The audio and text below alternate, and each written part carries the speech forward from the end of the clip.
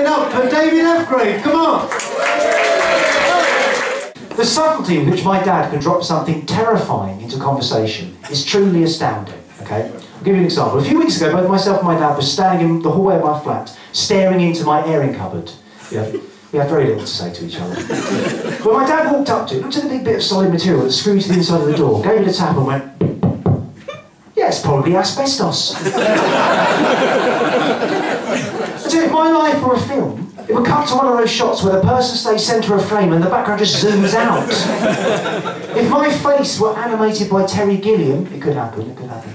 My bottom jaw would have just disengaged completely. Ten years I've been living in that flat. Ten years, and all that time I had absolutely no idea. My cupboard was giving me cancer. Just think of all the times I innocently hung my towels up in there to dry. And then got up the following morning, and just rubbed my face in it. really rubbed it in, really got it in there. My towels, every item of clothing and bed sheets in my house has rested against the inside of that door at some point. I may as well have broken into a factory built in the mid 50s, dislodged some lagging from the roof, and just rolled myself up in it. I didn't know that I owned a closet to death. and by sitting within close proximity to me now, you probably could, she's contracted it now.